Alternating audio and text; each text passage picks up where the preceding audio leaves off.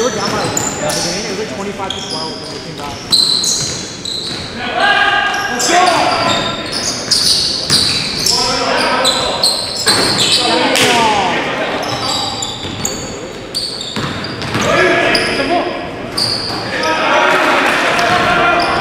Thôi, bố. Không tập lại cạnh.